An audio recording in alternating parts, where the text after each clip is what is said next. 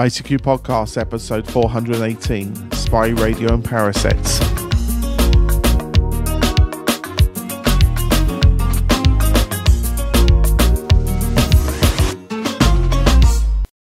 Well, hello, fellow amateur ham radio enthusiasts, and welcome to this, our 418th episode of the ICQ Amateur Ham Radio Podcast, supported in this episode by our monthly and subscription donors.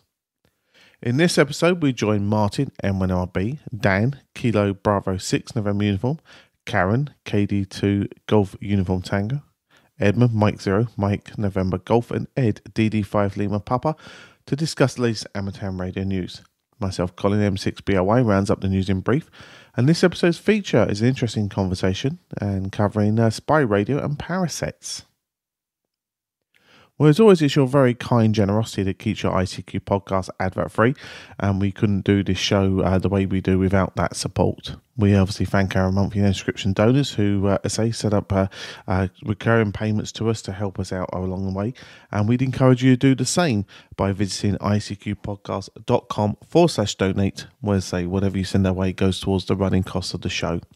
There's only one more show between now and Christmas if you wish to send in your uh, donations for the end of year, and we would really appreciate anybody that considers that for us. Right, well, now we're going to join Martin, Dan, Caryn, Edmund, Ed to discuss and generate thoughts about the latest amateur radio news, including Ofcom helps to convict an interferer, and FunCube 1 is 10 years old. As always, hope you enjoy. The ICQ Podcast Digital Voice Talk Group your digital home away from home worldwide. Well, hi guys, and welcome to the ICQ podcast, uh, episode 418, and tonight's news round table for that episode. I'd like to introduce you to uh, Mr. Dan Romanchik, KB6NU. Hi, Dan. Hello, everyone. Good to have you on board. Also, your side of the pond, we have Caryn Eve Murray, KD2GUT, getting your call sign right yet again, Caryn. Hi, Martin. Good to be back. Yeah, good to have you. And I know I you often used to say GD2 and put you in Guernsey, but uh, good, good one. No, no, Isle of Man, isn't it? Isle of Man. I'm having a, I'm having a, a moment as well. Okay, over in Germany, we got Mr. Ed Durrant, DD5 LP. Hi, Ed. Yeah, good evening, everybody. Yeah, good evening. And last but not least, down here on the south coast, where it's always sunny when he's wandering up and down the beach with his uh, Yagi pointing at all over the place, uh, Ed Spicer, uh, M0 MMG. Hi, Edmund. Good evening, Martin. Good evening, everybody. And it's not sunny here on the south coast, but we haven't had any snow. But I was talking to a colleague, I think in County Durham earlier, and they've had a dusting of snow up there. And uh, a call sign starting Golf Delta 2 would be extremely rare indeed. So uh, if you ever hear one of those on the air, try and work them. Yeah, yeah, yeah. Well, as I say, I often uh, put Caryn in the early days. I could never remember the call sign and often uh, relocated her to the Isle of Man. So, uh, yeah, there we go. Anyway, let's start our first news story. And in fairness, this is not a nice news story, but at least it proves that we don't only pick on the states when the FCC convicts somebody for being a pain and causing interference to amateur radio. So, Ed, you said this is your part of the world where you grew up, but what's your thoughts? Yeah, indeed it is. Um, this is a non licensed person who was deliberately causing interference uh, to amateur radio in the Hull area in, in East Yorkshire. And the it seems this was his second offence from what the article says, but this particular offence was a response from Ofcom to complaints in February in 2021. So it's taken them like two and a half years to get this guy to court, but uh, at least they've they've taken some action. Uh, we were discussing earlier the uh, his his actual punishment doesn't seem to be very hefty, but at least the regulator is doing something, which it's good to see that they're they're responding to complaints and uh, investigating, and in this case, taking it to the courts and uh, getting the guy uh, prosecuted. It's a real shame when you got idiots like this around. And I was saying earlier on, uh, back when I used to live there, it would have been more likely that somebody would have gone round uh, to this guy's door and just had a few words with him and maybe invited him to the club. But it was perhaps past that stage in this case. And yeah, he's uh, ending up uh, is on a suspended sentence, but if he does anything wrong in the next 12 months, he'll go to jail for 26 weeks. But I think the key point is that uh, Ofcom, the, the national regulator in the UK, is actually uh, doing some enforcement when there is interference to amateur radio. Back to you, Martin. Yeah, they certainly are. But I suppose his sentence is not set by the regulator, Ofcom. So if No, he's no. gone to court, that's what the judge has given him. And, Yeah. you know, 26 weeks suspended sentence. Okay, doesn't seem much. I would suggest he's had his uh, gear, conf- all his gear confiscated. Mind you, if that was, say, a Baofeng, a £20 handy talkie because he was interfering on a repeater, not a lot of money he's lost there either. But hey hum. Caryn, you didn't think it was uh, sufficient of a fine, did you? No, I, I want to start by saying I, I think it's great that uh, the authorities went after him. I don't think people should be let off easily. They should be taken to task. But no, I actually think it was a cop out. A prison sentence with no financial sanction uh, and a prison sentence that is suspended to me is meaningless. I read that story and I thought, well, why bother? You know, you're not even slapping him on the wrist, really. You're, you know, putting him in front of the classroom and embarrassing him, and that's about it.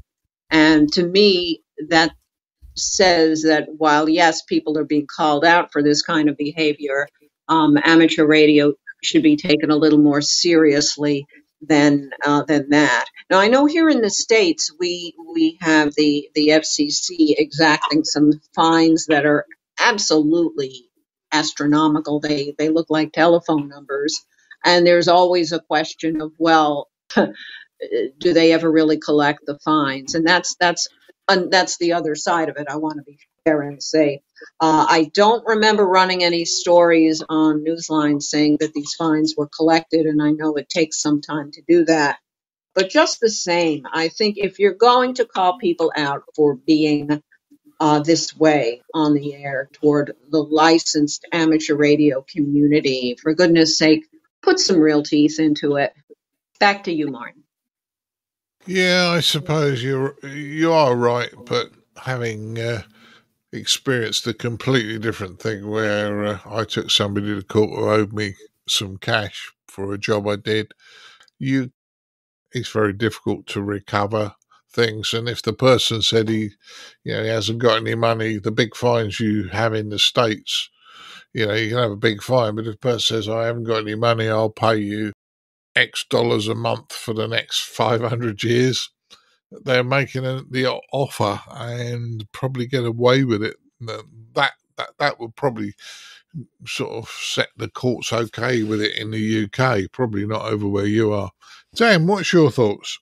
Well, I think that would be a very interesting story to see if uh, any of those fines were collected over here by the FCC and or the Justice Department. But uh, as far as far as um, this goes, I heard Riley Hollingsworth talk one time. Riley Hollingsworth was head of the enforcement division at the FCC for a while. And now he's the uh, head of the ARRL's volunteer monitoring program. And anyway, what, he said he used to do, and, and I thought this was great actually. What he said he used to do was actually contact the spouse of the offending interferer and make sure that the uh, spouse knew what the person was up to. And to me, that would be, be a pretty pretty bad fine. you know, getting your your wife or husband uh, uh, uh, coming down on you for uh, for doing something so silly as Edmund, What's your thoughts on this one? I mean, it is a UK, and we are being fair by uh, you know mentioning that th- these problems happen in the UK as well, aren't we? What do you think on this one? Well, when I read this, I was genuinely surprised because in the nearly 15 years that I've held a license now, I don't ever remember hearing a story quite like this where Ofcom was involved. Um, I've heard tales of where they supposedly have contacted people and offered friendly, informal words of advice and correction going down the education and encouragement route rather than the uh, the punishment route. And given that, in common with most government departments and executive agencies, I would imagine they're not overflowing with resource. For them to be involved in something like this, this must have been extremely serious. So, congratulations to all involved in actually getting this to court. I, I just think it's such a shame, and I don't understand why anybody would do this, and and certainly not in a public venue like the amateur radio airwaves, where you're likely to come to the attention of other people. And what makes it even more sad is that um, it doesn't actually say in the article which bands this this chap was using. But if he was using repeaters, then if he has the wherewithal and the knowledge and the skills to program in to his radio repeater shifts, deviation, split frequencies, CTCSS tones, then it's likely that he wouldn't have too much trouble passing the foundation license. And I'm not saying that as a slight on foundation license holders at all. So I just don't get it. I mean, this is not whatever your definition of normal is, this is not normal behavior. And I hope that he will get the help that he clearly needs, be that psychiatric or medication or, or whatever. But well done to Ofcom for getting involved and uh, helping to secure the conviction. Yeah, I agree with you on that one. Um, yeah, it's nice to see that Ofcom is doing it. And in fairness, for our cousins in other parts of the world, you know, I, I, we've we've highlighted things happening in other parts of the world, and I think, although it's a, a bad news story, I think it was important that, for, from a fairness point of view, we uh, we highlight that it does happen here as well. Right, moving to our next news story. Happy 10th birthday to CubeSat 1, brackets AO73. Yeah, went up uh, November the 21st, 2023. Dan, I I assume you might have done some satellites. I'm not sure, uh, uh, but what do you think about this? Ten years for a satellite that's pretty damn good going, isn't it? To be honest with you, I've only made one satellite contact in the past, but but I think that the cool thing about this FunCube is that it was put up with um, education in mind. You know, all the other ones, yeah, you know, they throw them up there and people make contacts with them, and that's that's great. But you know, there were a lot of uh, uh, cool uh, educational projects that went along with this FunCube, if I recall and I, I think that's the the real um, uh, I don't know value of of this particular satellite. In ten years, that's that's just uh, just gravy. Yeah, certainly is because you know you would we didn't have the mega mega resources that say NASA would have for putting up a satellite. This is amateurs. This is probably done off for people from their own pocket, a group that uh, got a bit of sponsorship, and they've done really, really well. So uh, that uh, to me, to me is a big one. And you're right, it was educational. I mean, I remember I've got um, I've actually got two FunCube dongles, and you could monitor this satellite as it went over and download its telemetry, and it used to send messages out to schools as it went over.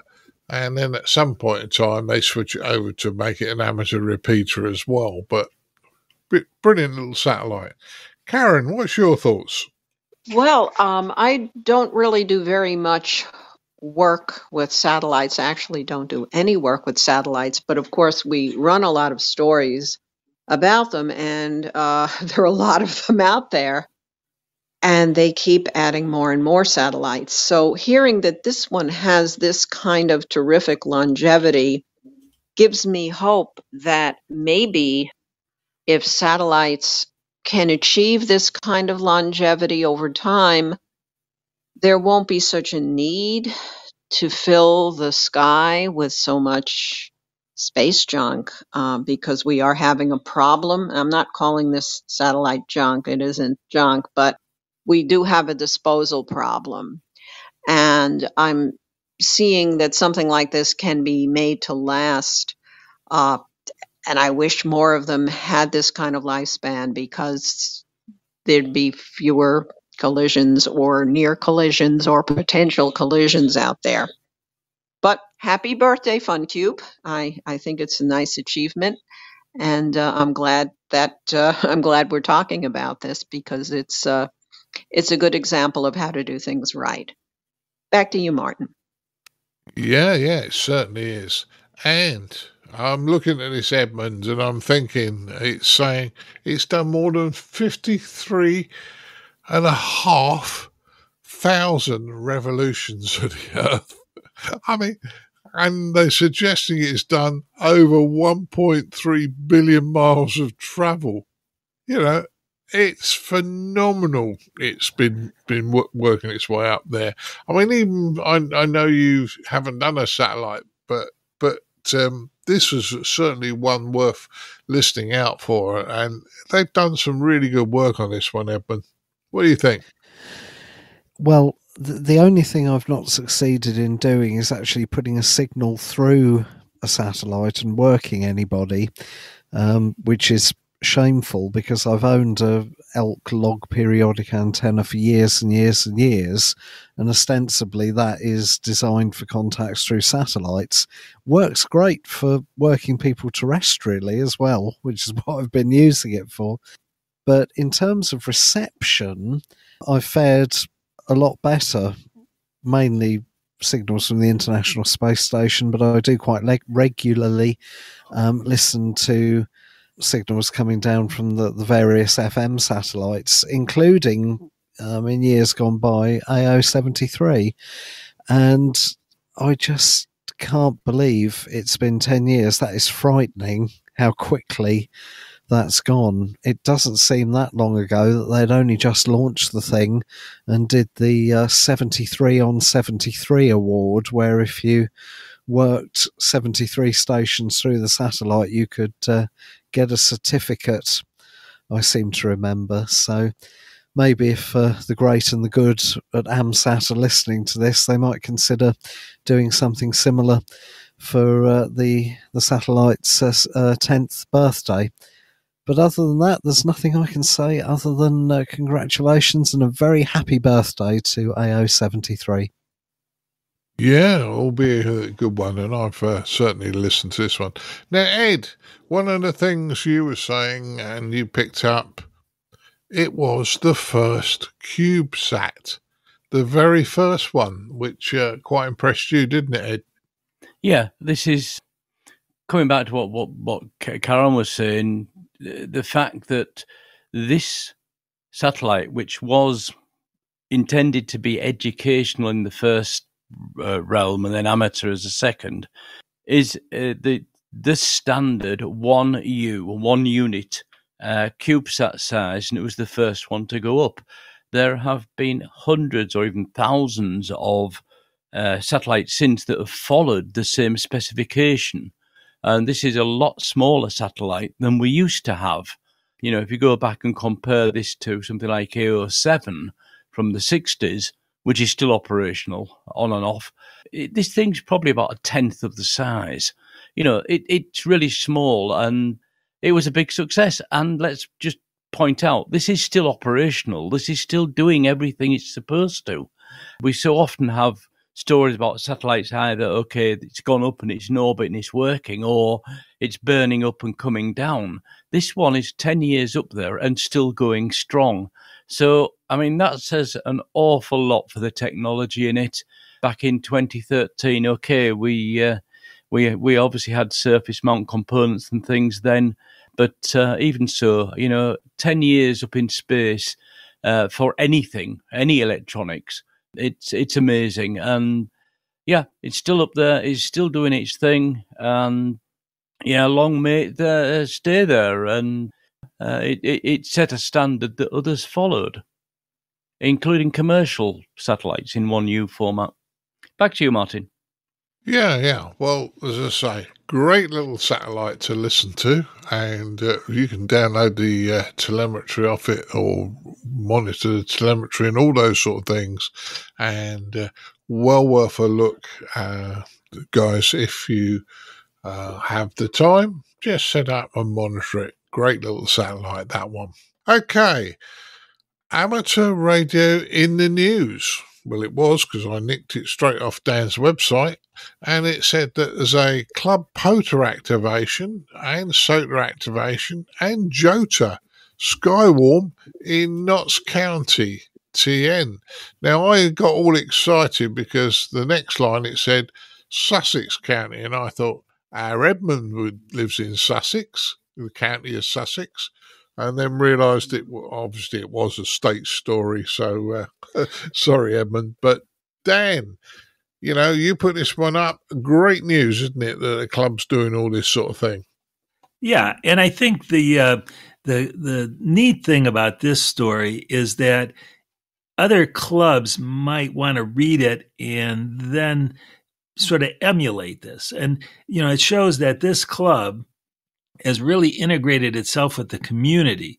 So it's it's it's you know doing all these different things, and that I mean that's got to be good for the club. It it gets the club out into the community. People find out about it. People that are have licenses and uh, are, are, not that active that might motivate them to join the club and get more active. So it's a it's a good thing all the way around. I think. Yeah, I think it's good when a club gets out there and does things. And uh, you know, at the moment there's a lot of apathy in the hobby, but to see a club doing things like this really does impress me. So, um, Ed, what's your thoughts on this one? It's a good model for uh, other clubs to follow. Uh, multiple outside activities, get the club members involved, and get a lot, uh, get the local press involved as well, because this is what is Cape Cape Gazette Delaware's Cape region. So the regional newspaper came along and they've got p- pictures of their uh, emergency operations uh, van as well. And yeah, it's basically what a lot of clubs would do on a field day, I guess. But why not do it at a different time of year and get some uh, publicity for your club? And uh, you know, get all the club involved. Uh, it looks like there's quite a few young members in this club as well, so they're obviously doing something right. Uh, back to you, Martin. Yeah, I'm quite impressed with what they're doing. So, uh, albeit, um, Caryn, I know you have a go at POTA, and uh, this this must have uh, quite uh, excited you seeing a club pushing this sort of thing. Oh, you're reading my mind, Martin. I was very excited to see this. Um, this is what clubs should do. Uh, really, it really is what clubs should do. Here's the thing a lot of us will join clubs and we will want to do activities and we don't know where to start. Okay. My first POTA activation was with a club. And I couldn't have gone out and done this myself. I don't know where to begin. I'm I operate from home, okay, and this was not even it'll be a year next month that I'm doing POTA, just a year, but I got an amazing jump start on it because I had club members around me saying, "No, this is what you do with this antenna. This is what you, this is how you put your key." And it's like sometimes you just need somebody to walk you through it the first time and to give you a sense of the pitfalls and to let you know what to expect if members of the public come by.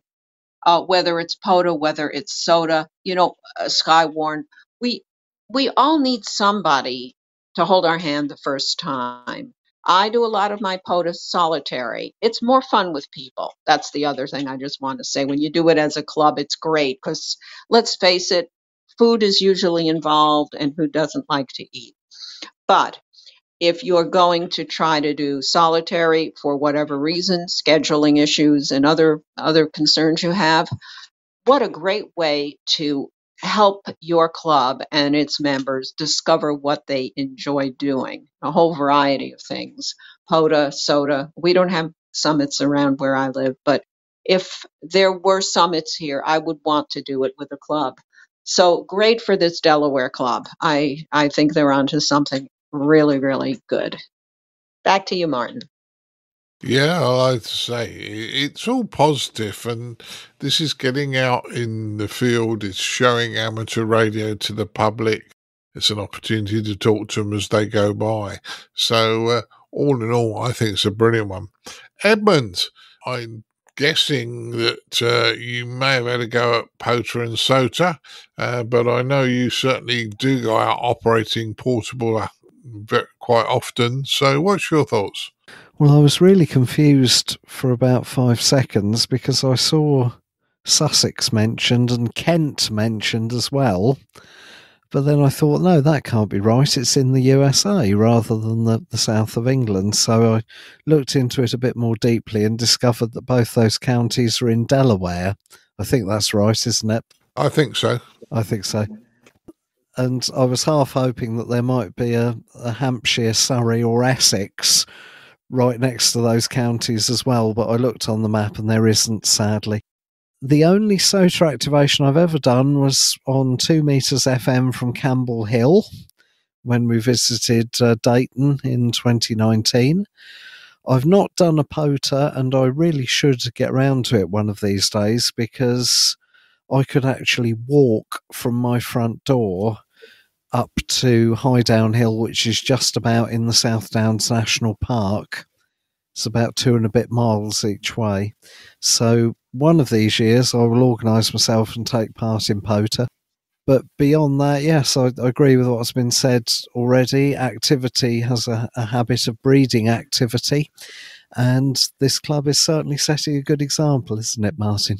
Yeah, it certainly is. And maybe one day uh, when it gets a bit warmer, maybe I'll come down and we'll go up that park not far from you because I've been there. It's uh, it's an interesting place. If I remember right, there's some picnic tables up on the downs there that we can operate from quite nicely, uh, which would be quite good.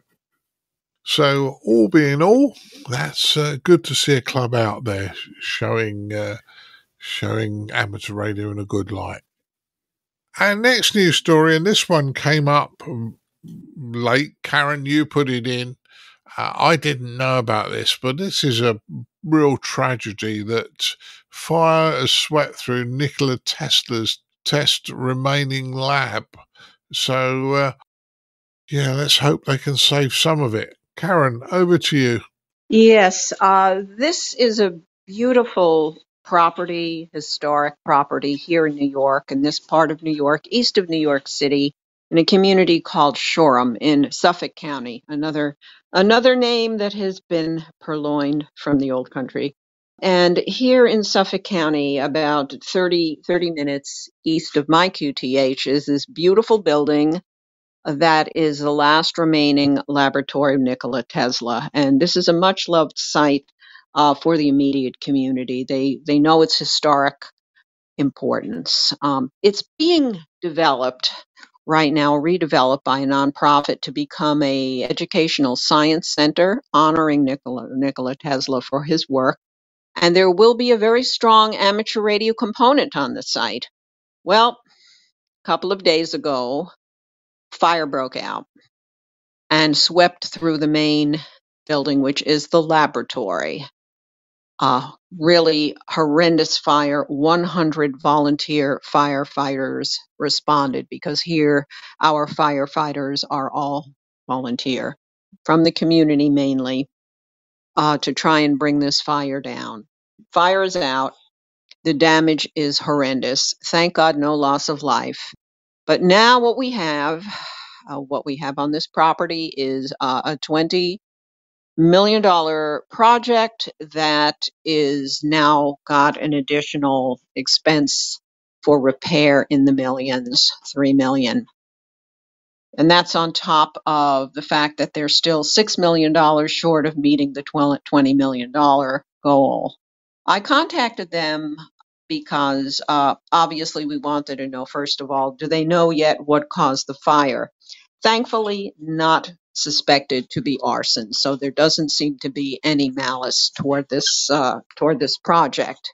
But my concern, especially for Newsline readers and Newsline listeners, uh, is well, what happens now uh, to the amateur radio activity that's supposed to be there? The good news there is there is a visitor center on the property. It's in a separate building and that's being redeveloped as a visitor center, and that was not affected by the fire.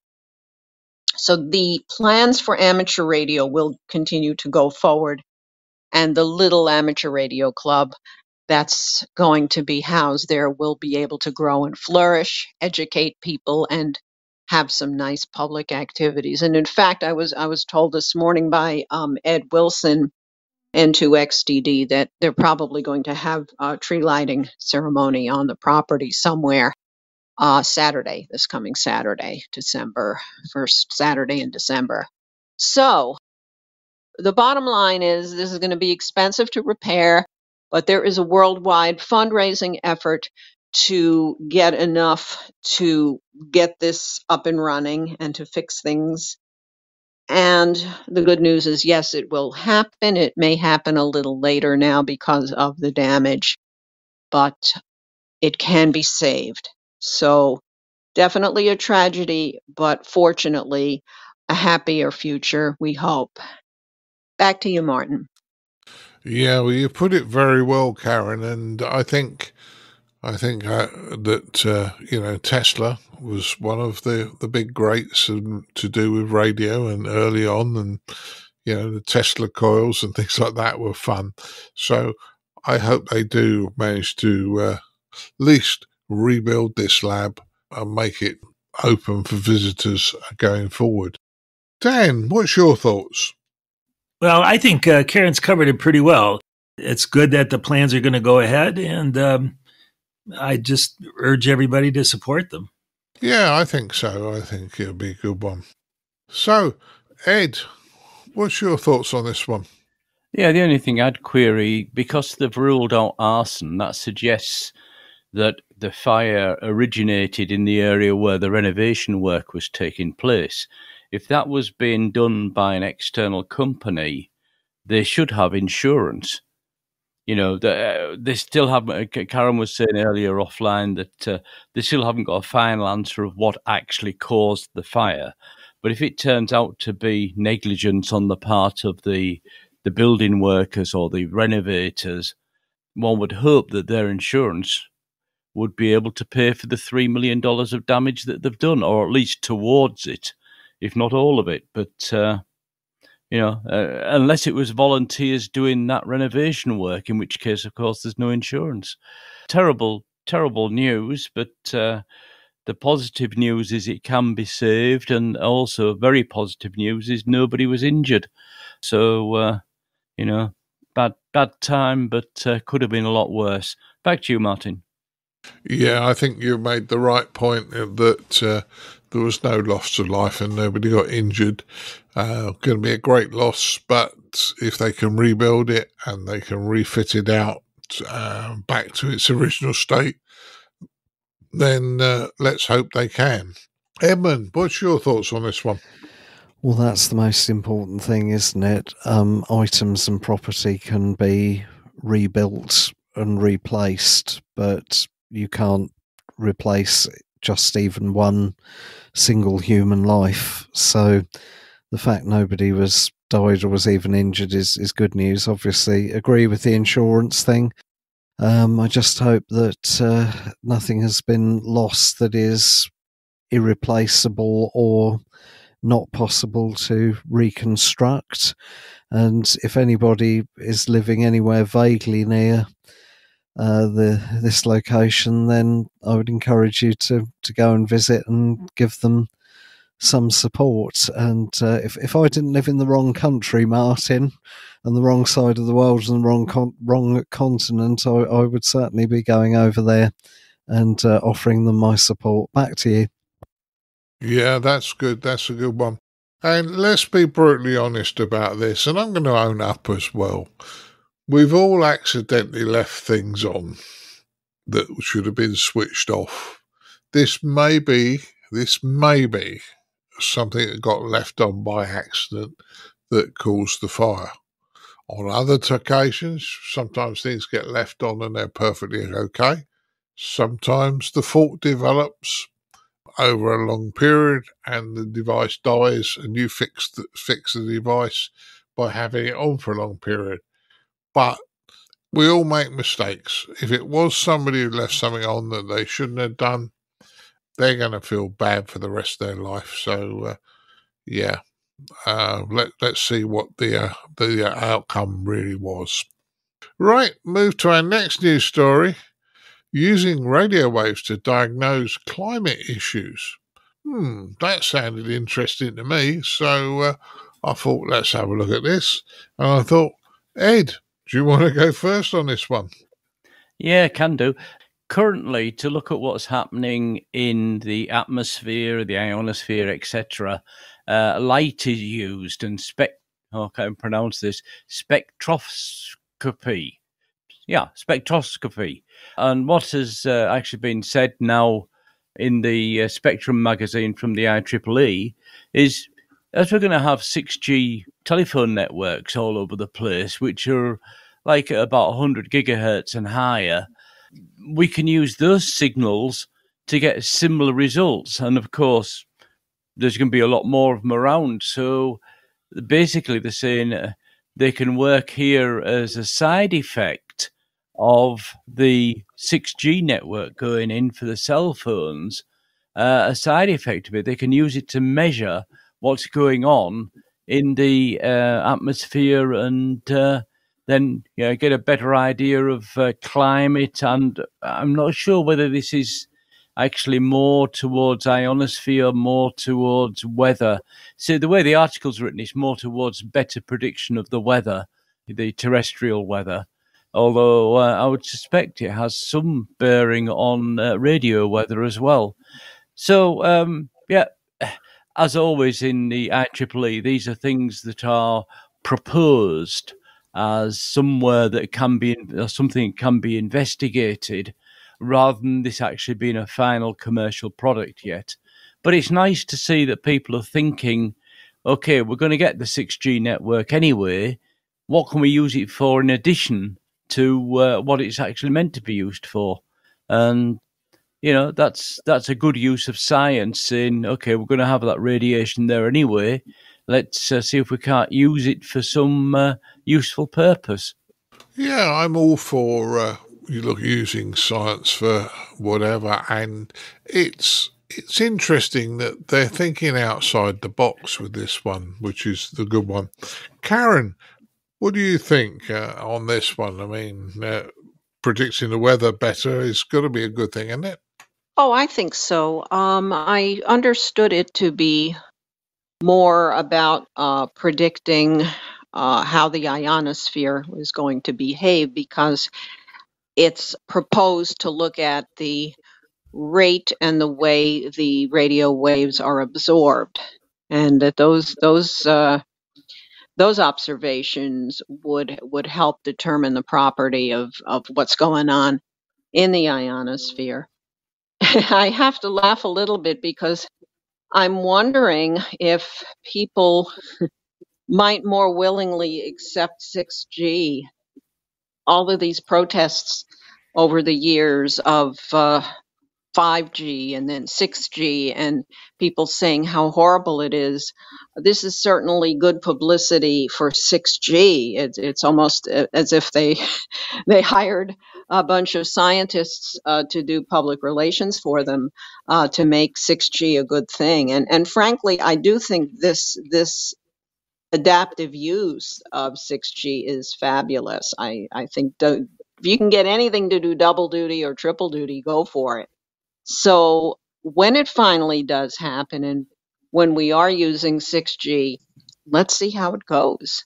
I I, I think the fact that the human mind is always pushing beyond the obvious is, uh, well, certainly a, an amateur radio thing and it's a science thing. So I have hopes for this. I, I like the story. And maybe we'll finally figure out why propagation is so bad on some days. For real. Back to you, Martin.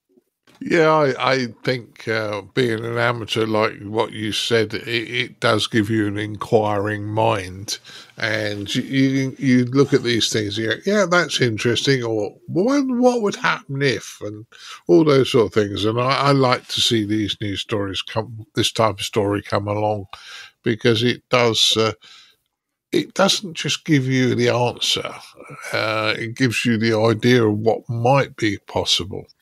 Dan, what's your thoughts? Well, I think that um, this is probably quite a ways away. I mean, I don't even know how what's how, what the status of 6G is. I mean, how close we're really close to how close we are to having a 6G networks. But then uh, uh, I think a lot of study is going to be needed to figure out, you know, what absorption characteristics all these different gases have, and then uh, extrapolating that into actual measurements. Uh, so I think we're kind of a ways away. But one, one thing I, that sort of impresses me about this is, again, this sort of points out how useful amateur radio can be because what is this? This is an RF technology. So we're going to need people that know RF technology to to to make these measurements and figure out how to how to make them and then then um, uh, extrapolate from the data. So uh, to me, this is actually a, an amateur radio story in a way because we're going to need people to do all that stuff, and and they're going to need RF experience, and amateur radio gives them RF experience. It certainly does, and uh, in fairness, I think we are getting close to having a shortage of RF engineers. There aren't that many about. I mean, okay, I've uh, I worked for a company for thirteen months. I've now moved on, but you know, uh, finding an RF engineer is going to be difficult. Uh, there aren't that many of us about. So, uh, amateur radio certainly, for any youngsters, could actually be the start of a career for you. So, uh, that's a good one. Edmonds, Having better weather forecasts. I mean, um, 100 gigs I would have thought would have put, pushed straight through the atmosphere, the ionosphere, straight out of the space if it's pointed up. But travelling um, close to the ground should have some effect, I'd have thought. Well, it's an amazing use of technology, isn't it? And at frequencies like that, absorption from raindrops or even ice crystals um, in the air could be a very major thing. I, I, I don't have any experience of this, incidentally. 70 centimeters is the highest frequency band that I've ever used from home. Um, so I can't even describe myself as a microwaver. It would never have occurred to me that that microwave frequencies potentially could be used for this kind of thing.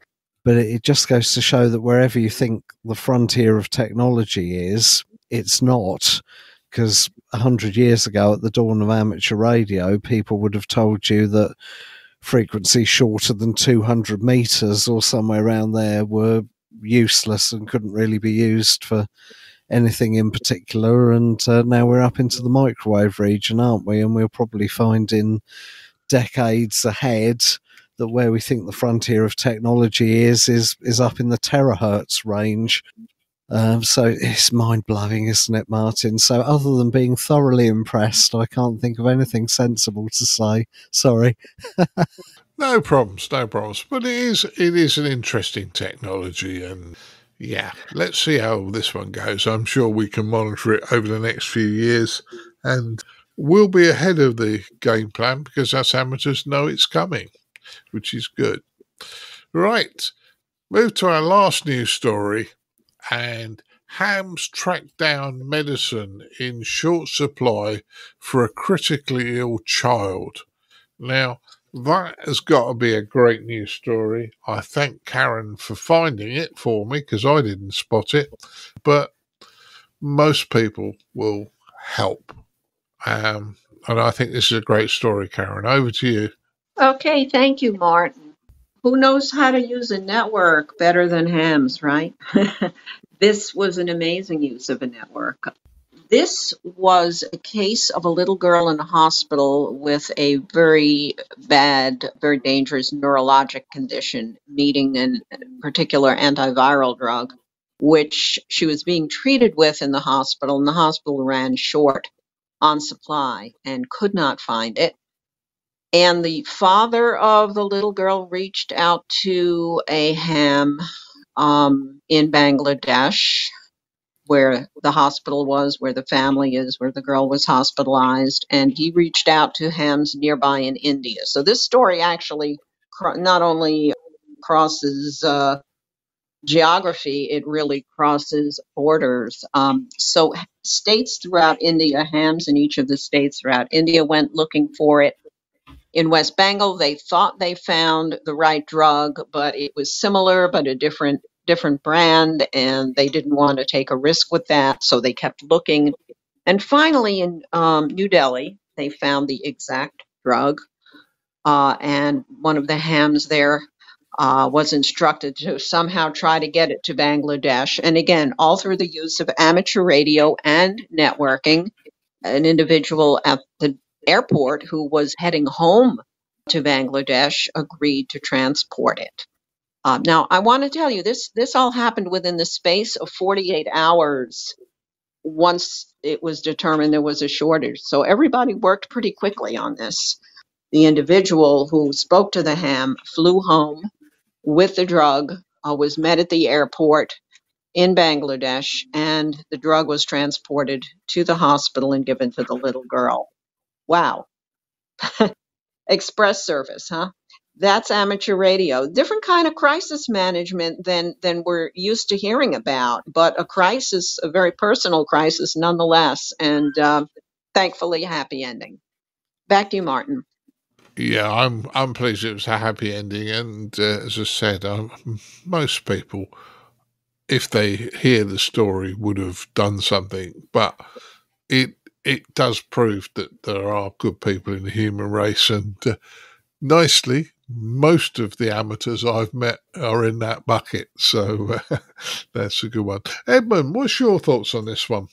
Well, yes, I think the overwhelming majority of people in the human race are good people who will help. It just tends to be the way that the world goes that you know if if 999 good things happen and one really bad things happen then it'll be the one bad thing that you hear about over and over again on the news and in social media. But radio amateurs do seem to be generally speaking more that way inclined. I, I must admit martin if i was in serious trouble and i had the choice between calling on a random radio amateur to help me or a random member of the public to help me, then without a moment's hesitation, I would always go to the radio amateur first. So th- this is a, a, very heartening news story, Martin. And other than to say, I'm very glad that it had a happy ending and it's good uh, news and good publicity, even possibly for amateur radio. Um, there's nothing I can add. Yeah, I think it's good news. Ed, what's your thoughts on this one? Yeah, just echoing what everybody else has said. It's just an example of volunteering. In the case in India, we, we hear a lot of these stories where the, the network of amateur radio is used to organise the logistics and also to uh, also to coordinate uh, the volunteers. And in this case, it's not just in a region or a state; it's actually across borders as well. And we probably all know politically, India and uh, Bangladesh don't necessarily get on that well all the time. And, you know, that's totally irrelevant in this case because what was uh, what was at risk was the the life or the well being of the young child, and uh, everybody pulled their weight and did a good job. Um, it's just a shame that these kind of stories, although they get good publicity in India and Bangladesh, they never seem to get into world news. And I think that particular story deserves to be in world news. But uh, of course, while there's wars and things going on everywhere else, uh, it's not uh, it's not covered. Back to you, Martin. Dan, have we left you anything to say on this one? Oh, sure. I always have something to say.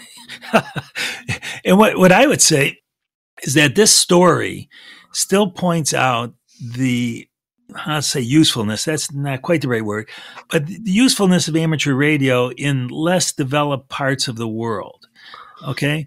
And you know and it's easy for me to say this but i i think that maybe those of us that are in the more developed parts of the world should be doing more to promote amateur radio in those parts.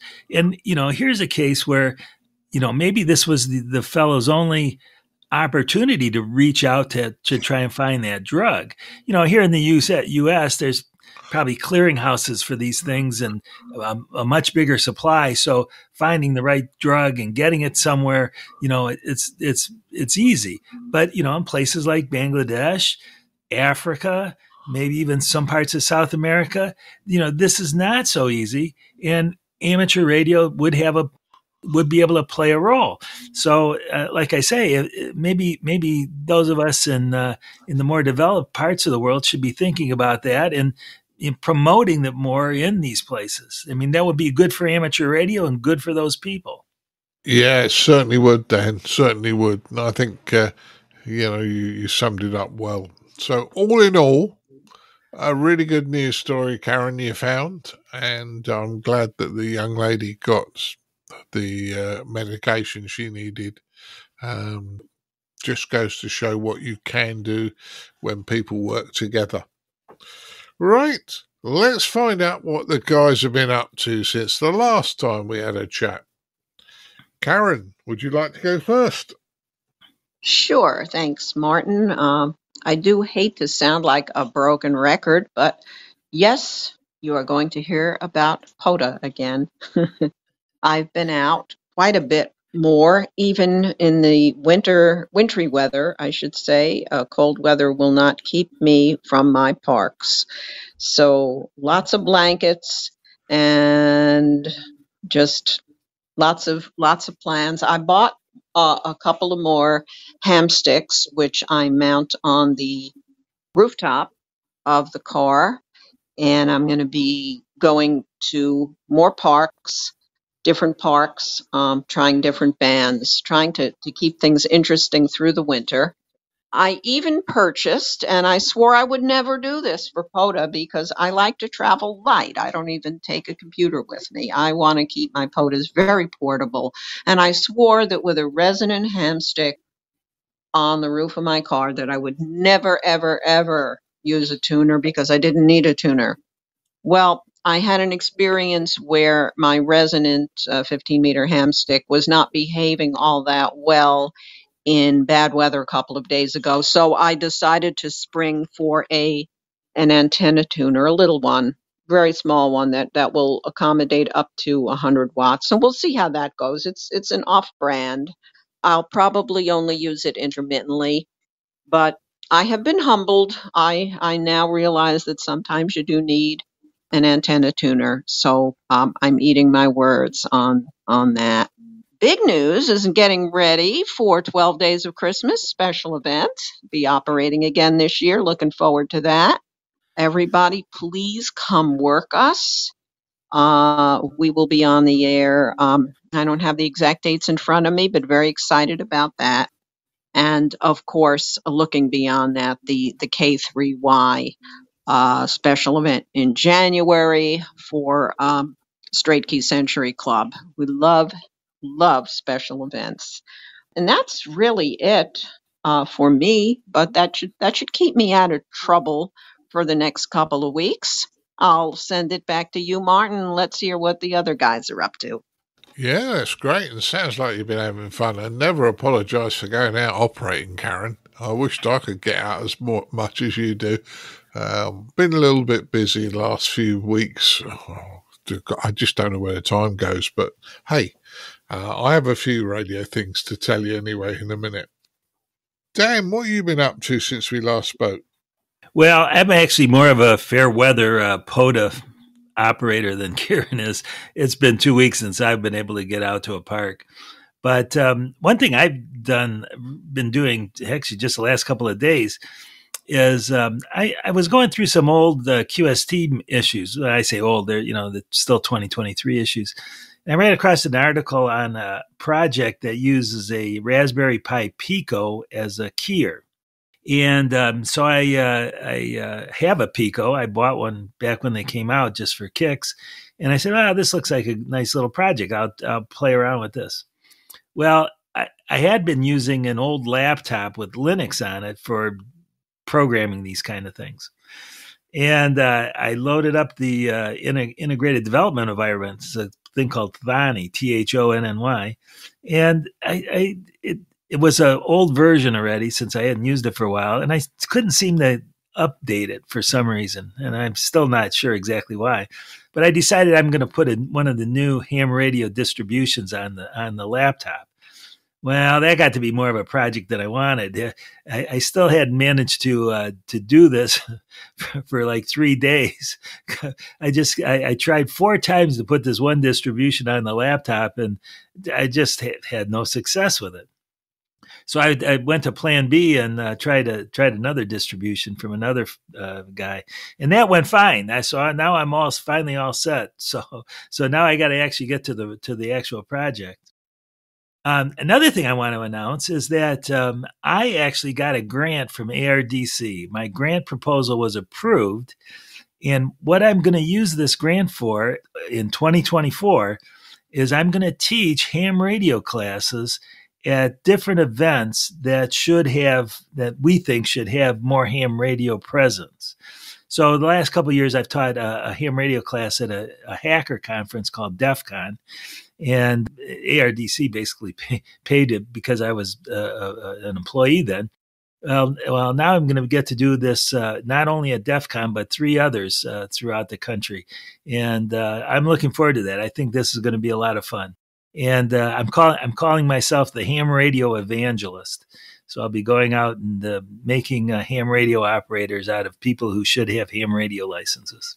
Well, that's good news, and Dan, and it's good news, and I'm sure you'll enjoy that one. And say, uh, that sounds a real good one. Ed, what have you been up to over in Germany? I suppose it's now inside work from now on. Now you got snow. No, well, first of all, last four to five weeks I've been ill, so I haven't been able to uh, get out as I usually try to to uh, to do outside activations. But I'm glad that's behind me now. But uh, yeah, I'd like to catch up on some of these activations that I wanted to do. But we're expecting heavy snowstorms over the next two days to add to the snow that we already have. So I'm probably going to have to wait a little while. And I think uh, in December, I want to uh, chase, try to chase some of the uh, the UK bunkers on the air because they've got a special Advent calendar award for uh, working people that are activating bunkers uh, every day from uh, the first through to the uh, to the twenty fourth of December.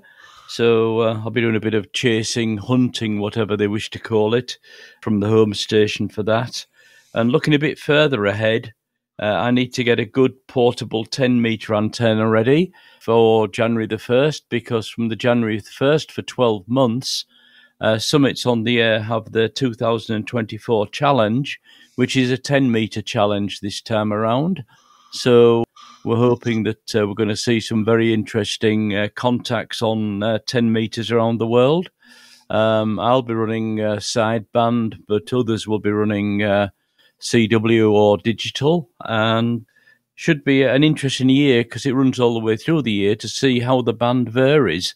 Because you know, with sporadicity and with the the high uh, solar counts, you know, the top of the solar uh, cycle. Um, it should be a, a, real buzz of a year for 10 meters in 2024. Back to you, Martin. Yeah, yeah, it sounds uh, certainly sounds good, and sounds like you're going to be very active next year as well. So uh, that's a good one. Edmund, what have you been up to since we last spoke? Well, I haven't done any amateur radio at all for the last two weeks because sadly on Monday, the 20th of November, my beloved 16 year old cat Tigger had to be put to sleep. Um, so, for reasons I'm sure you can imagine, I've not really felt like doing any radio at all since then. But hopefully that will change in the days or weeks ahead, although there's not really anything much coming up. It's the wrong time of year, really, for special event stations and that kind of thing. Um, December is YOTA month, Youth on the Air, I think. Is that right? Um, so I'll be listening out for them. And there will also probably be quite a few stations on the air with the call sign Golf Bravo and then a number and then uh, Hotel November Yankee Happy New Year at the end. So might be worth listening out for, for some of those, particularly in the second half of December in the run up to Christmas and the New Year. But the main thing of note that I did before Tigger passed away. Oh, and incidentally, um, the 24 hours before she did, Sunday the 19th, was the Cats Bazaar, the Coulsdon Amateur Transmitting Society radio rally, and I had intended to be there, and I would have been uh, in different circumstances. So if anybody went to that and was disappointed not to see me, I do apologise for not being there. I had fully intended to be there, but uh, hopefully November 2024 I'll be able to make an appearance. But the week prior to that was the Essex CW Club Activity Week, and I wanted to take part as a gesture of support towards that club. And it's not a contest, so all bands are okay, including the WARC bands. But because I'm boring and predictable, I stuck to 40 metres the whole week. And uh, I worked, I had 26 QSOs with 24 separate stations, uh, mostly around 12 words per minute. But for one of them, which was a, a rubber stamp contact with a special event station, I did go up well over 20 words a minute. And I would encourage people to have a go on CW. There, there were three things that I found really heartening. Um, number one was that whenever I called CQ, everybody without exception came back to me at whatever speed I was sending at.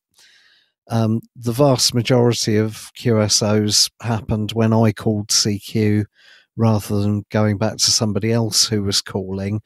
And I had thought before I started this that if I called, say, 12 words per minute, I might have people coming back to me at 18 words per minute or 25 words or whatever. But to everybody's credit, whatever speed I called CQ at, they came back to me at the same speed, which was a pleasant surprise. The second thing which encouraged me a little bit was that I had some QSOs with people who came across as being very experienced CW operators, but even they occasionally made mistakes and had to go back and resend the word. And the fact that people who, on the face of it, have had decades of practice and who came across as being really good and really experienced, the fact that they occasionally made mistakes, that made me feel slightly better on the, the regular occasions when I made mistakes. And the third thing that was really good was that there was no tuning up, jamming, whistling, deliberate QRM at all that I was aware of. Sadly, in the last couple of years in particular, I have been aware of more instances of hearing people deliberately, well, deliberately causing QRM or whistling or you know, making funny noises or whatever on top of SSB stations I didn't hear any of that on CW, so that was really nice as well. So I'm glad I took part. I won't say it was fun all the way through, particularly at the beginning, but sometimes things don't have to be fun to be worthwhile. So I'm going to stick with it. My CW isn't great now. If if Dan listened to me, he'd probably sit there holding his head in his hands. I would think. But No, however no, no, no. bad, however bad it is now, I can say with absolute certainty that it's considerably better than it was at the beginning of the Essex CW activity week. So I will stick with it and I will try to absolutely master it in 2024 eventually. Excellent. Back to Excellent. you, Martin. Well, that's a, that's a good one, Eben. I'm pleased uh, you enjoyed yourself. Now, what have I been up to? Well, I had Colin over for about a week. Colin came over just before the Cats Bazaar, and we were extremely busy. so much so that I didn't make one of the club evenings on a Monday night, and I didn't make the committee meeting on the Tuesday, basically because I got home and fell asleep. But we were out doing all sorts of bits and pieces. Colin came over for the Cats Bazaar, and as well as uh, going and watching his football team. Uh, we we had a great time at the Cats Bazaar. You were missed, Edmund, not only by the ICQ guys, but there were a couple of people that was were asking where you were.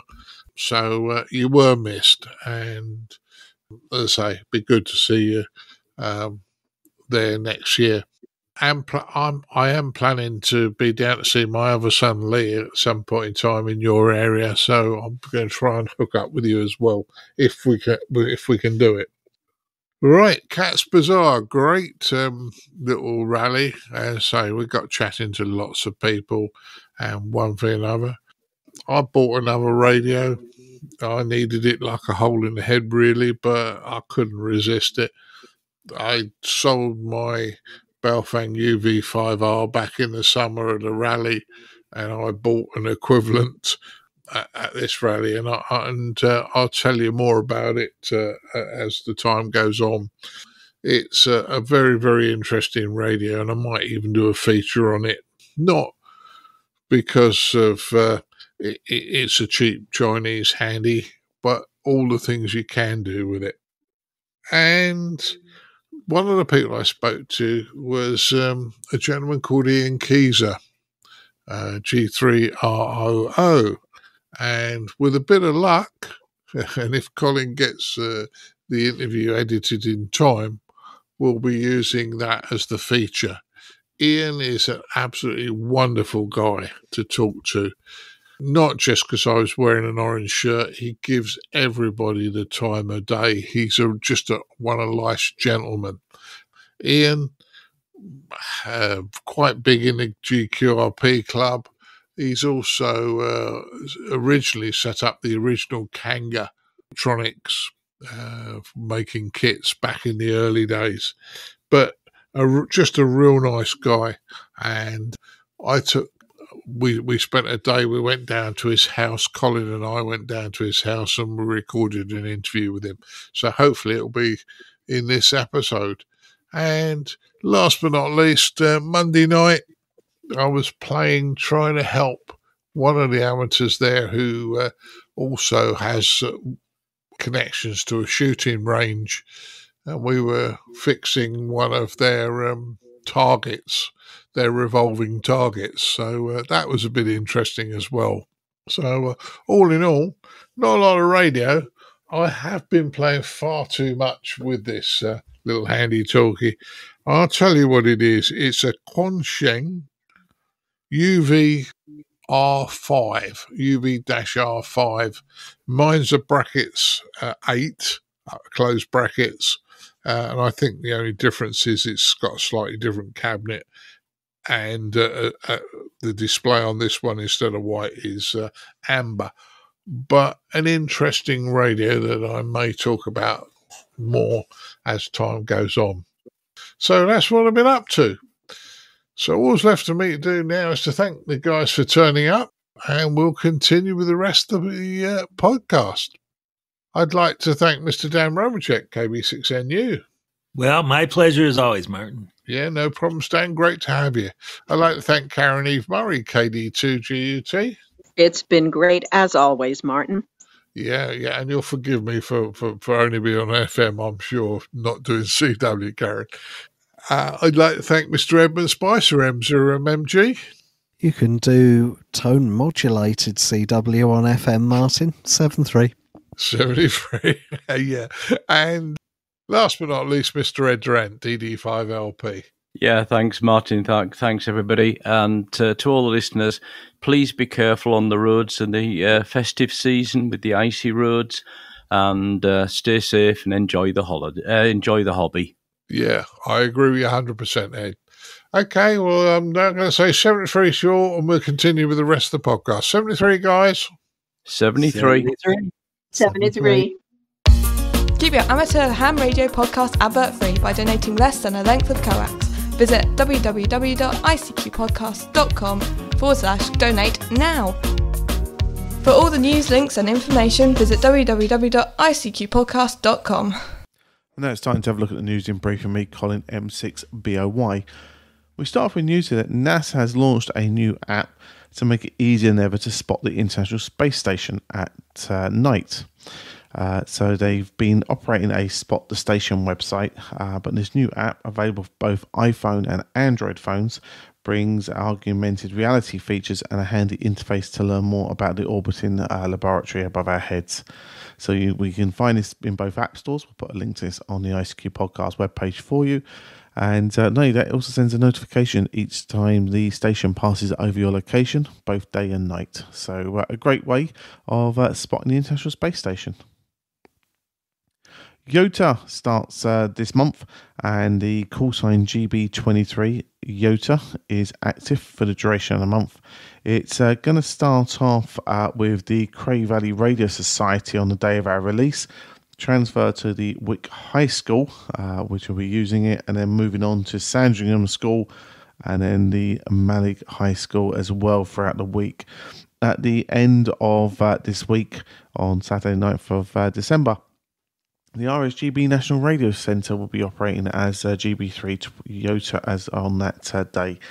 Uh, so lots of QSOs with young uh, radio amateurs on the air. Please uh, get involved and uh, show your support for this event. And as I say, hopefully we can generate lots of lovely interest in our hobby to these young enthusiasts. We finish off with news that the second preview build of SDR Connect is available for download and contains a number of new features, including direct frequency input, additional bands with IARU regional support, IQ recording, IQ playback, uh, amongst other things. So, uh, again, link to this on the ICQ podcast uh, webpage for you. That if you're uh, looking for the SDR Connect uh, preview, I say preview number two has been released.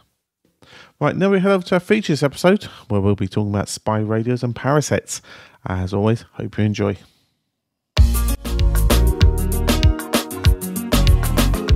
And now, what you've all been waiting for this episode's feature from the ICQ podcast.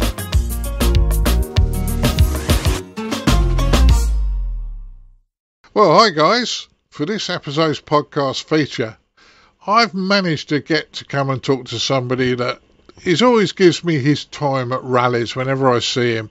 And it turns out we've probably got a hell of a lot in common, although you are more senior than me. And uh, I'd like to introduce you to Mr. Ian Keyser, G3ROO. Hi, Ian. Hello there. Uh, nice to meet you.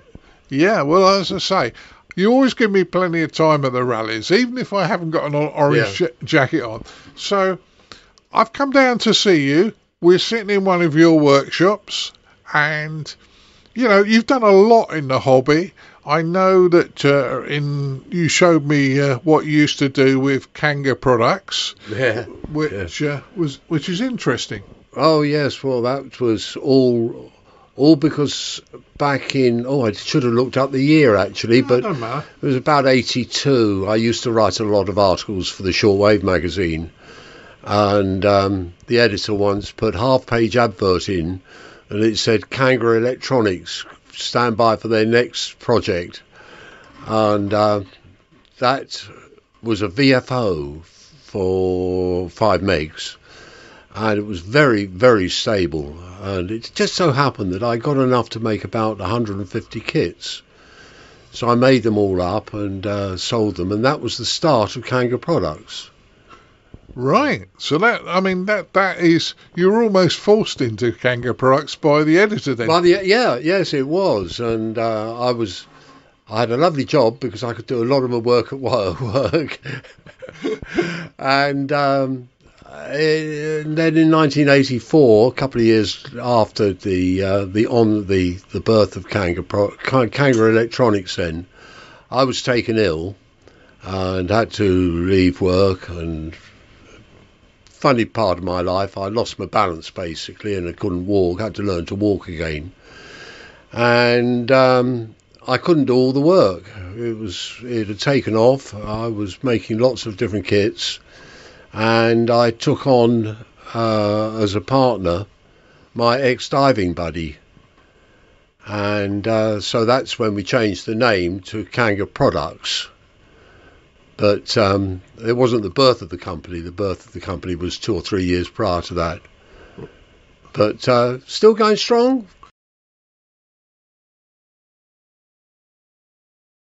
You've you've been involved with lots of things. I mean, you just mentioned, and I wouldn't have known. You did diving. Oh yes, an instructor there.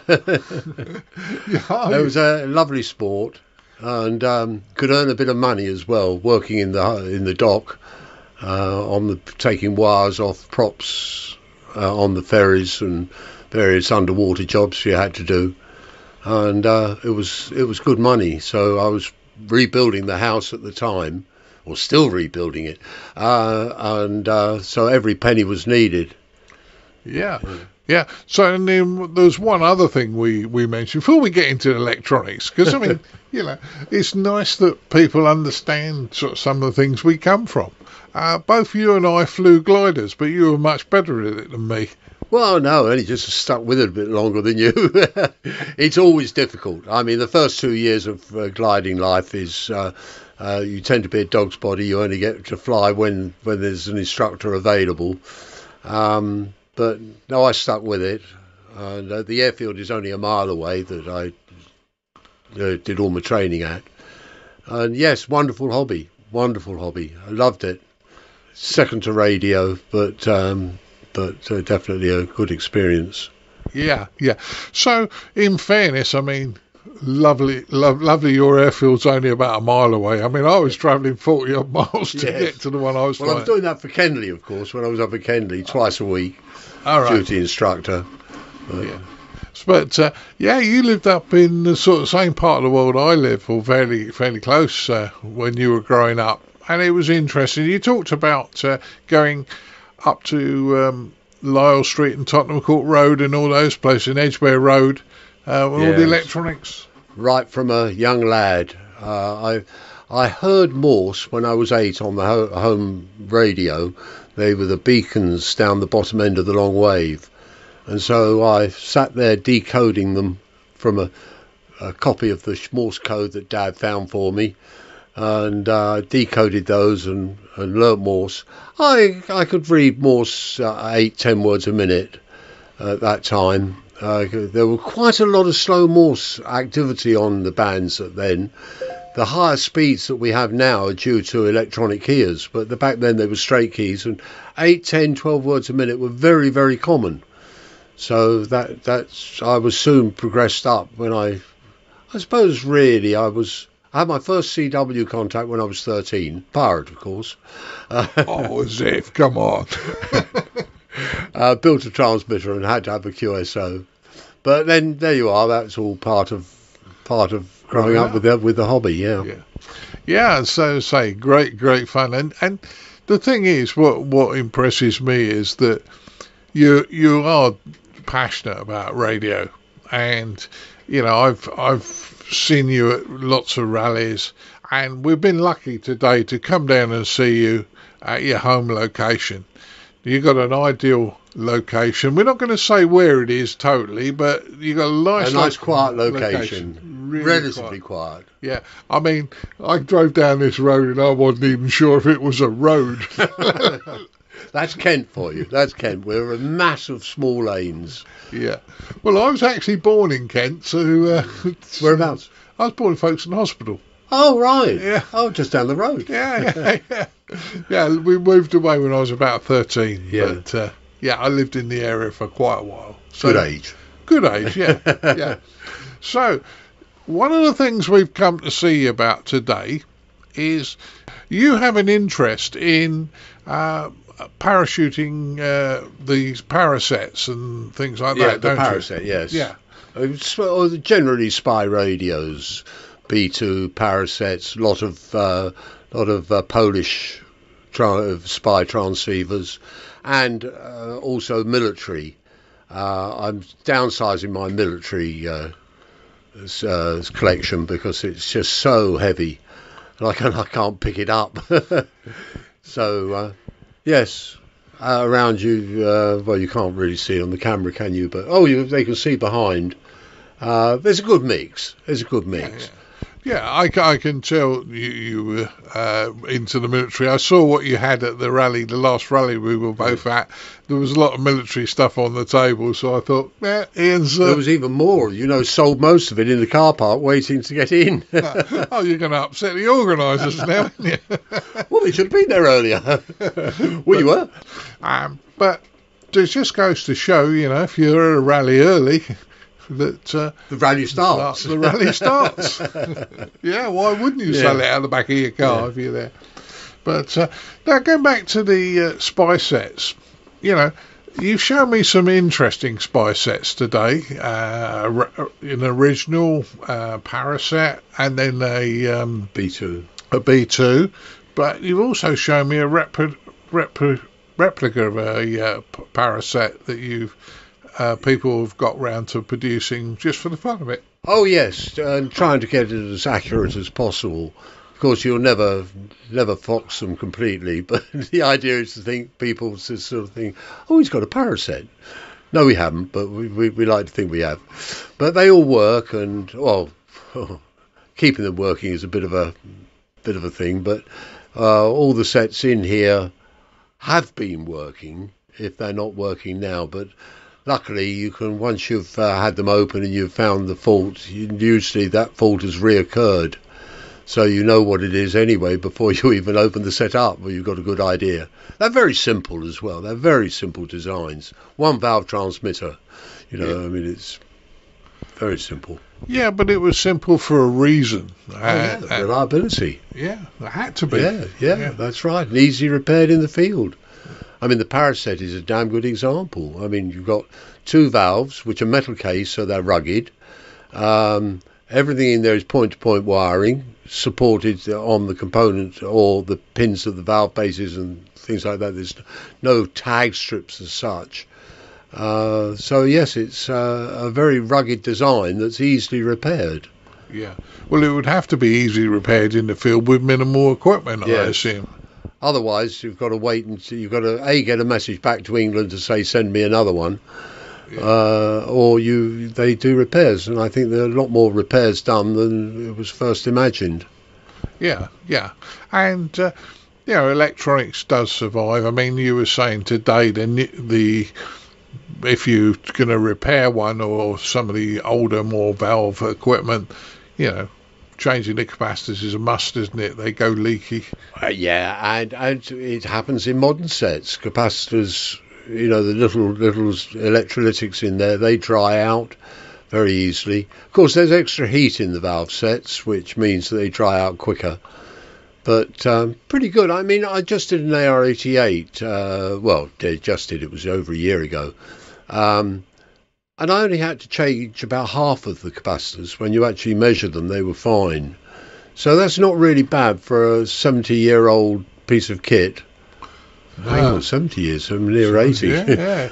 Well, Yeah. They, they they made them they made them to last in them days. well, and they, were all all sensible components. I mean, capacitor with rolled up paper with an aluminium foil. Yeah. Nothing really to go wrong in them.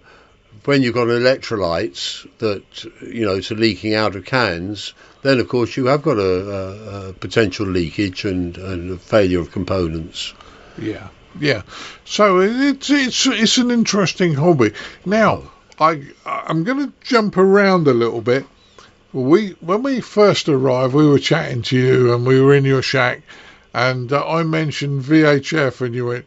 Yeah, I've just got back into this, but it's nice to know that you do do a lot of things. And uh, you mentioned Oh, there's there's. uh, I mean, there's so much fun to be had out there on sideband and CW on two meters, and everyone sits on channels chatting to their mates. Well, that's fine, don't mind that.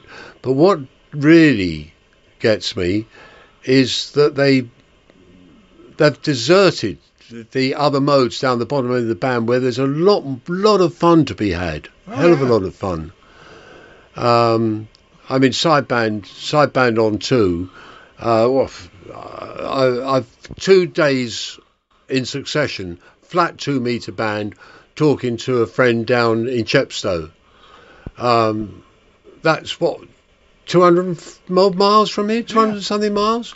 He was running two watts. Well, it, that just goes to show that it can be done. Yeah, two watts, five element Yagi he used. Yeah. Now I get, I often get told, I often get told, there's no activity on two meters. Nobody's using it, but the pieces. Now I live in South London. I would guarantee, if you and I both lived in South London, and I called you on the calling frequency, and we forgot, let's be honest, forgot to move off the calling frequency, we'd have about two overs, and the world and his wife would be screaming at us to get off the frequency. Yes. Yeah. well. Well, that's it. That's why we have it call it a calling frequency, isn't it? I mean, we should move out of politeness. We should, Yeah. but but what I'm uh, suggesting is there are loads of people listening, but, oh, no but they won't but they won't operate. Oh, this happens on HF all the time, especially with the higher bands. The other day, uh, two of us here, Nigel, uh, M0NDE, E and myself, and we just went up to see what 10 was doing, and there was no, no activity on 10 except for some FT8. So there was obviously band was lively, or Yeah. there potentially lively. I put out a CQ on the key, and had a reply come back immediately. When we finished that contact, there were four signals visible on the band scope on the key. There you go. Because if you don't, its point is just listening on the band, because everyone else is just listening. But you start to make some noise, other people see and say, "Oh, the band is active," and come on. So for goodness' sake, when you get on a band, if it's dead, always call CQ to make some activity, and you'll be surprised what comes back. yeah, and if you're the one calling CQ, you could be the one with a mega pile-up. Yes, that's right. Yes, it could happen. Yeah. I mean, especially W was open. Uh, it was wide open. What Thursday, I think it was morning, and uh, about eleven o'clock, and I had eight or ten QSOs, just just rubber stamps, but you know it was fun. You know, nice to have ten open, Yeah, and that's a wonderful band. yeah. I was, uh, so I haven't done a much on, on ten myself. Have done it. Worth trying. Yeah, I'm uh, I'm more of a VHF band. I'll be honest with you, but It is VHF. Yeah, it is. Yeah, yeah, yeah, yeah, yeah, pretty much. But you were saying your favourite mode of operation, your favourite band and your favourite mode of operation, and I've only ever had one contact on that band, and and the guy was like five miles up the road. Yeah, So- 160 meters. yeah, Oh no, 160. It's it's you've got, you've got to have real estate. I'm very fortunate. Got this place dirt cheap when uh, in the 1970 72. Uh, it was a derelict. Uh, we rebuilt it, my wife and I, and my dad.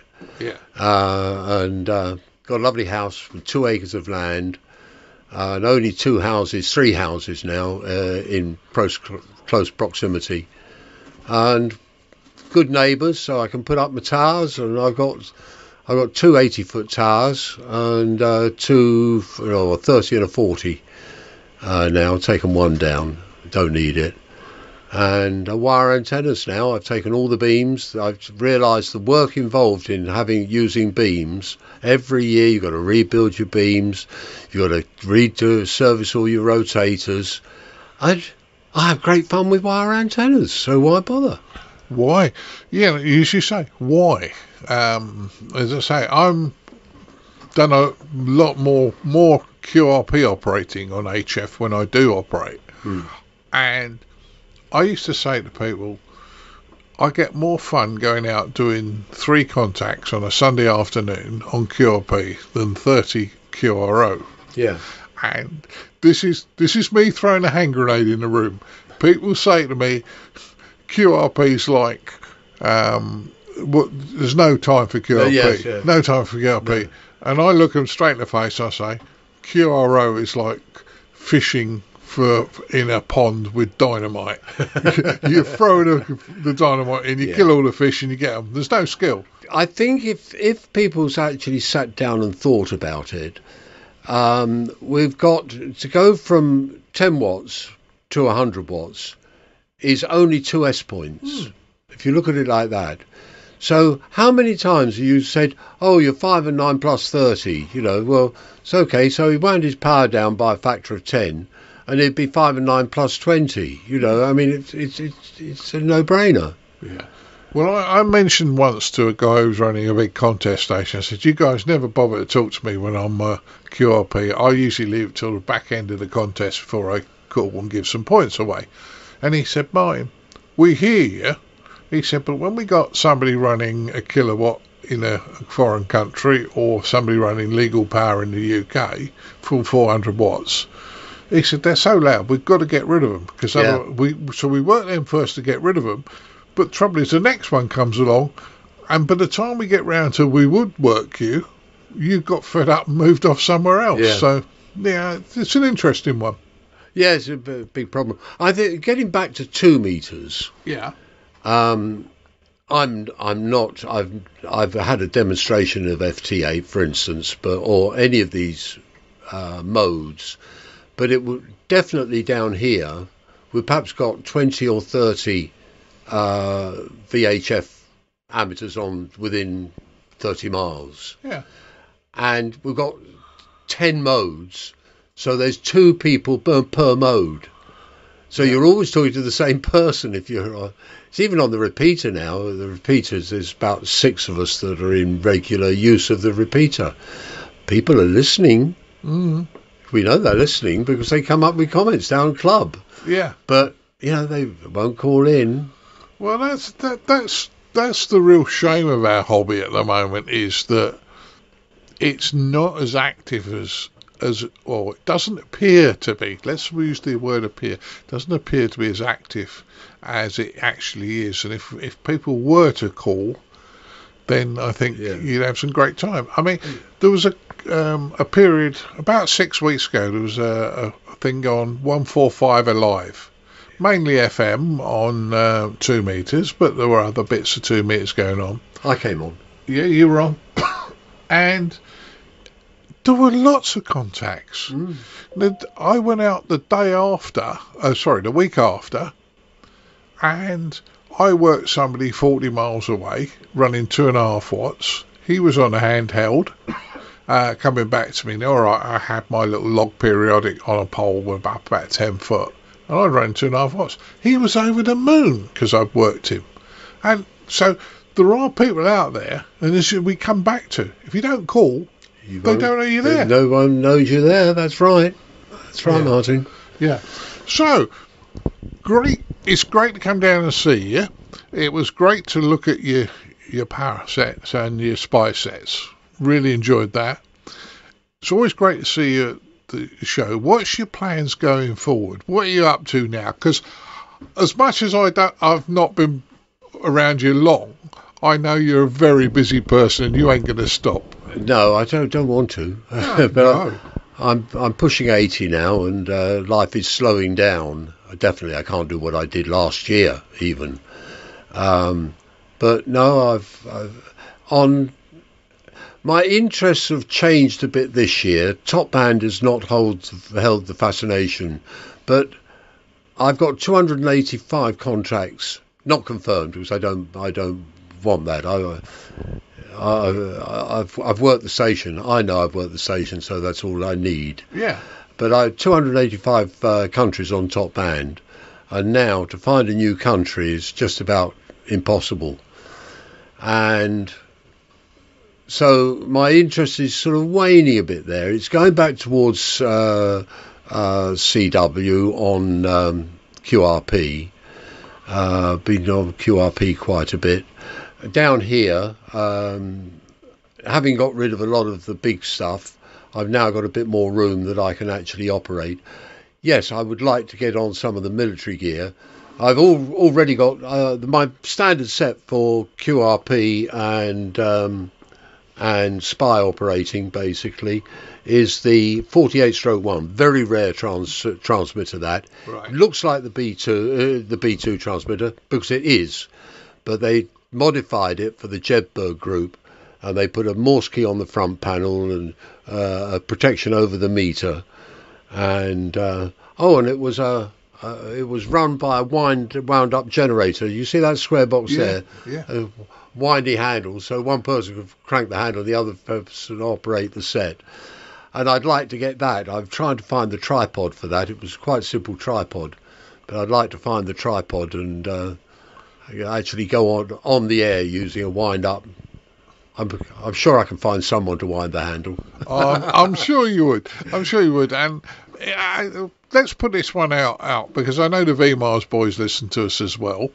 Um, you know, if anybody's got a tripod, or if you got the if they, you had the plans for it, you could get one manufactured. Oh you? yes, yes. Oh, it's it's it's simple tripod, very simple by the look of the picture. So yes, if there's anyone out there, I'm Ian's interested. there, there you go. And I assume that uh, apart from operating, you're still going to have the soldering on, on, aren't you? yeah, unfortunately, I've lost sight in my right eye. Oh. So now soldering is very difficult. I daren't touch printed circuit boards. Uh, I can stab around and uh, make a, a reasonable joint. And I've got a friend that if I do have to do some, real fine work, he comes round and uh, does the fine work for me. Yeah, And that's a hell of a disappointment losing losing the eye. yeah.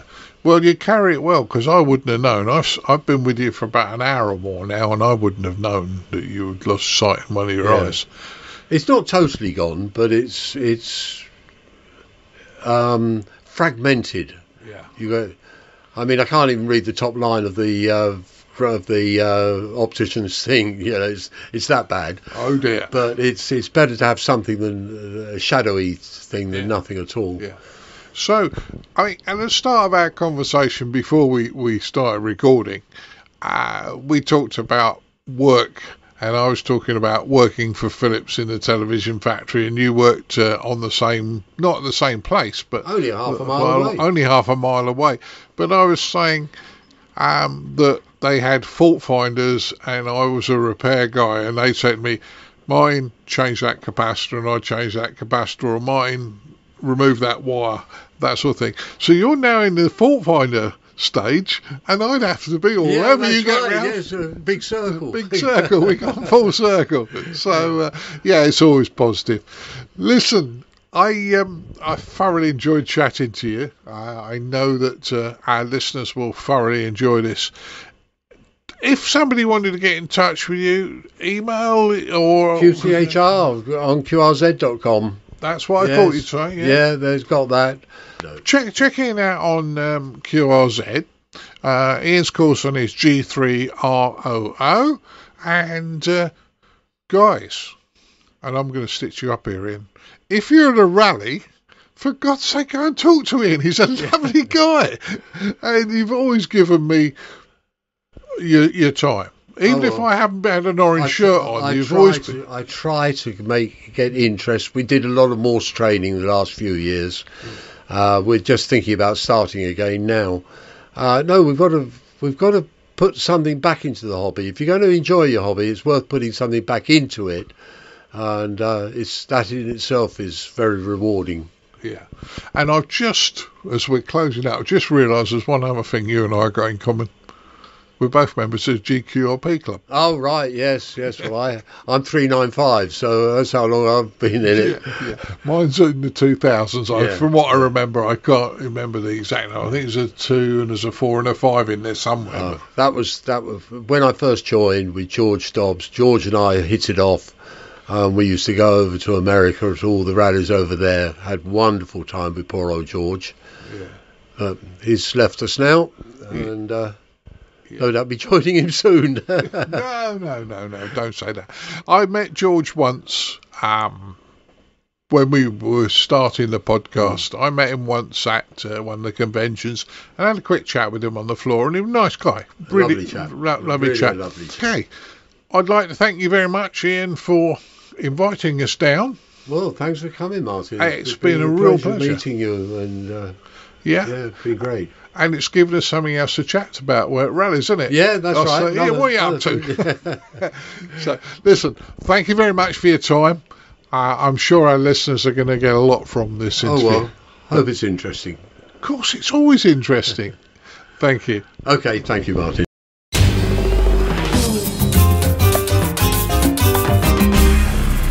The ICQ Amateur Ham Radio Podcast, serving the amateur ham radio community fortnightly since 2008. Well, everybody, I really hope you've enjoyed our feature and our conversation with Ian, uh, G3R Oscar Oscar, or Romeo Oscar Oscar, I should say, to do it correctly. Uh, such a, an engaging, interesting gentleman who uh, was very hospitable to us and gave us lots of his time. And uh, Dan, I think, uh, say, you know, certainly somebody that, uh, say, if you've got any interesting military or spy radio or anything on those lines, it's he's certainly a guy to uh, to catch while you can, really, isn't he? He certainly is, Colin. And I'll be honest with you, if I lived closer, I'd probably want to uh, spend more, much, much more time with Ian than we actually did. Um, such a wealth of knowledge, such a gentleman, in fairness, and uh, very, very interesting to talk to. And outside of radio, him and I have done very, very similar things along the line of life. So, but uh, you know, he's he's such a such a gentleman. Gives you all the time in the world, and it's not just because we were wearing an orange shirt. Um, I've met Ian many times, and uh, we should have done this interview before, but hopefully, you guys will thoroughly enjoy uh, our chat with him. Yeah, I think I think what I found as well, um, more than anything else about him, is is um, how active he is, how he's not allowing anything to slow himself down, and and he's still very passionate about experimenting, about learning, about creating, about uh, you know really still keeping himself active and and really involved in the hobby, and you know not just sitting back as well and saying, well, I've always done it this way, and this is where I'm always going to do it. He, he seems to really uh, want to uh, continue to uh, to push on, doesn't he? Yeah, it certainly does. Uh, certainly does, and that that's the. I think that's the big important thing about hobby, is, you know, and we we we mentioned this within the news roundtable that hams seem to have an ethos of helping each other and being active and using our brains, and Ian is certainly falls into that that category. He's very active, um, st- still bright as a button far cleverer than ever I am, in fairness, uh, but uh, just generally nice gentleman to talk to. Yeah, I could echo that one there. So we've also got uh, a video interview as well of Ian, which we'll publish as well and pop that on the YouTube channel, so you can check that out as well. And uh, as I say, as always, uh, as I say, you know, I hope you enjoyed that interview, and uh, as I say, it might uh, it sparks some interest in some things from there. Well, as always, uh, we'd like to thank our monthly subscription donors that, as say, help us pay our way and keep uh, your ICQ podcast show advert free. Uh, as I say, just one more episode uh, left before Christmas to show your support for the work we've done this year, and we'd encourage you to go to icqpodcast.com forward slash donate to, as I say, taking part in uh, either a one off donation or one of our many options for uh, continued support to help us out along our way and, as I say, paying our, uh, our, our bills, etc. So we really do hope you will help us out from there.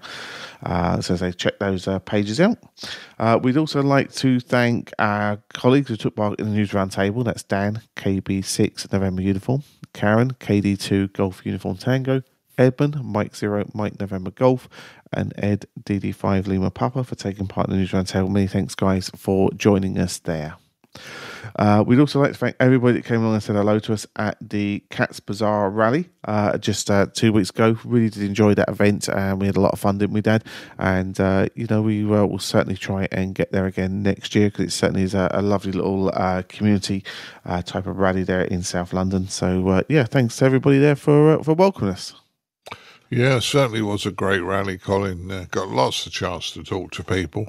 Uh, we, we, we were demonstrating what we do. Uh, there's still people who are not sure what we do.